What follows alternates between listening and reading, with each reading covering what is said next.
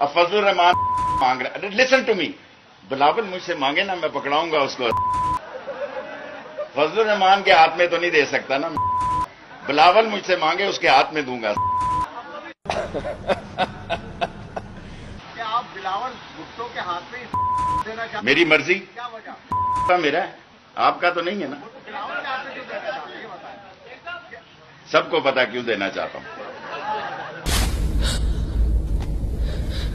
क्या हुआ?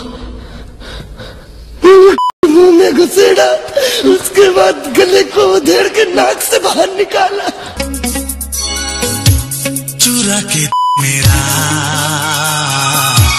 गोरिया चली। छूकर मेरे को किया तूने क्या इशारा